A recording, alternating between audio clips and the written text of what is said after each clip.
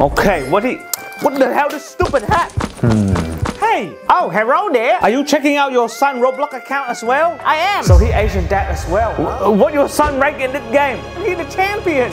When he start this game? My son he just uh, start yesterday.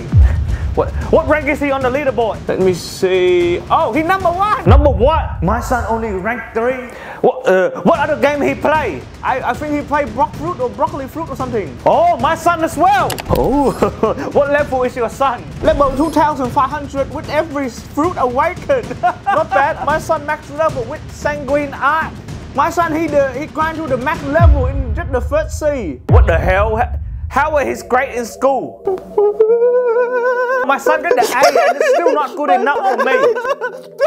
Why are you crying? My son, he dropped out of the school to play Roblox. Your son, a failure.